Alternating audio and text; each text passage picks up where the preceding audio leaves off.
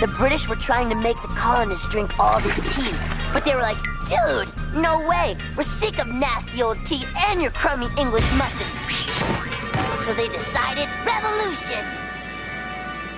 Where'd you learn history? A cereal box? What's your point?